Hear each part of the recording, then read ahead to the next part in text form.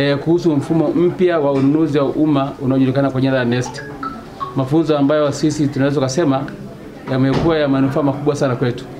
Kwanza tulipata eh, kuelezwa kwenye, kwenye kamati na wenzetu kutoka PPRA jinsi ambavyo wanaandaa mfumo huu mpya wa, wa, wa ununuzi wa kisasa kabisa, na sasa tukaja tukataka kuja kujionea uhalisia kazi inayofanyika, na nichukue nafasi hii kwa kweli kumpongeza Mheshimiwa Dr. Samia Suluhu Hassan, Rais wa Jamhuri ya Muungano wa Tanzania kwa maono makubwa aliyonayo juu ya nchi hii, kwa jinsi ambavyo ameanzisha au kuwaweka vijana wetu hapa kutengeneza mfumo huu mpya.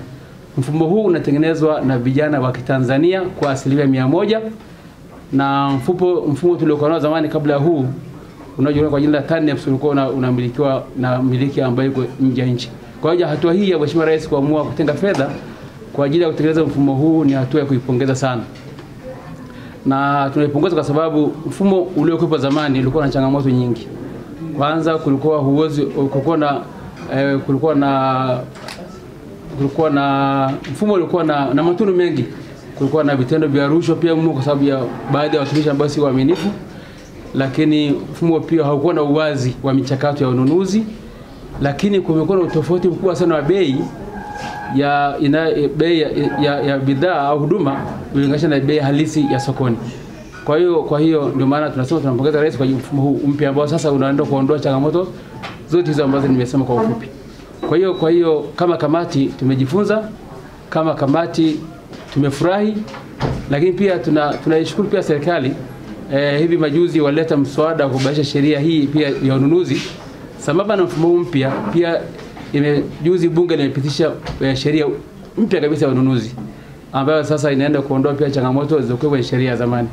Maana yake nini? Maana yake ni kwamba sasa tunakuwa na mfumo mpya ila pia tutakuwa na sheria mpya ambayo imeongeza pia ugavi na uondoshaji. Kwa hiyo mnyororo wa ununuzi eh, mwanzo ilikuwa ile sheria zamani ilikuwa inaishia kwenye ununuzi. Hii unanunua kuna kugawa na ku, kwa kuondosha pia mali za, za, za umma. Kwa hiyo kwa hiyo tunaipongeza serikali kwa hatua kubwa na pia bunge imefanya kazi yake, jukumu lake la kutunga sheria mpya. Kwa hiyo kwa sheria mpya na, na, na mfumo mpya basi tunaenda kuokoa fedha za serikali.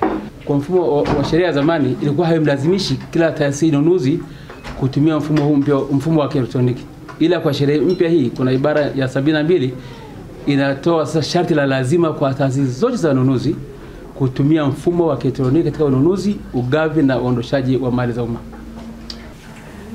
Moja ya jukumu tuliloagizwa na kuelekezwa na serikali chini ya uongozi wa Mheshimiwa Rais wetu Dr. Samia Suluhu Hassan ni kwamba kabla ya kuanza kutumia mfumo lazima wahusika kwa maana wazabuni na taasisi wafundishwe na waelewe jinsi ya kutumia. Kwa hiyo tunatoa mafunzo e, taasisi zinafundishwa na pia wazabuni wanafundishwa. Lakini kitu kizuri, mfumo huu ni rahisi sana. Hata wewe ukiingia kwenye mfumo unaweza ukakuta video pale ukaangalia jinsi unavyotakiwa kujisajili. Kwa hiyo unajisajili kulingana na video ambazo tumeziweka kwenye mfumo, lakini wanafundishwa. Na labda niwaombe tu kabla ya kuondoka, mwende hilo darasa hapo, mtakuta kuna taasisi 46 ziko hapo, darasa hilo hapo chini, taasisi 46 zinafundishwa, na mimi niko tayari kuwapeleka angalau mzione, sio kwamba ni maneno tu. Kwa sasa hivi tuna madarasa kama matatu hapa ambayo yanatumia yanafundishwa kwa ajili ya mfumo, na kuna darasa maalum la watu wa bandari kwa sababu bandari ni kubwa sana. Tuna darasa maalum la watu wa TRA kwa sababu ni watu wengi pia, na mnajua umuhimu wa TRA, lakini kuna taasisi 46 hapo zinapata mafunzo, na nadhani itakuwa ni vizuri viongozi wetu wako hapo na nyinyi mkazione au wanaofundishwa. Kwa hiyo tulikuwa na kipindi cha miezi mitatu cha mpito tarehe moja mwezi wa kumi wote, lakini mpaka sasa tumeshasajili taasisi zinazo zinazotumia mia tano arobaini na tatu mpaka leo. Kwa hiyo hizi zilizobaki katika zile tulizosajili mia tisa ishirini na tisa zilizobaki tunajua tutamaliza katika hizi wiki mbili. Ndio maana nimekwambia leo tu tuna arobaini na sita hapo ukiongeza TPA ukiongeza eh, TRA maana yake ni arobaini na nane. Kwa hiyo tunaenda tutazimaliza. Hiyo ndio ndio, yani wote hata hapo ni usalama. Lazima wewe mwenyewe ulinde mfumo, mimi na mwingine ni wajibu wa serikali kulinda mfumo. Kwa hiyo tuna watu wazuri sana ambao serikali imetupatia wanasimamia usalama wa mfumo. Ile ni kuombe na wewe mwanahabari, angalau uje uingie ingie uone, utajua je, kuna usalama au hakuna. Kwa hiyo usalama upo wa kutosha.